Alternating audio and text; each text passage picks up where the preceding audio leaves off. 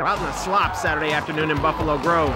And to be quite honest with you, we missed the first touchdown of the game with